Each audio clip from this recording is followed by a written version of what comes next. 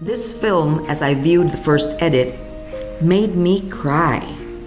It has captured all the important intangibles that I so deeply treasure.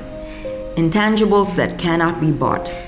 Emoted in this film is the love that I feel for everyone, literally everyone. It is calm, it is mellow, it is fluid, it is family, and it is friends. It is just so loving. And what more can I ask for?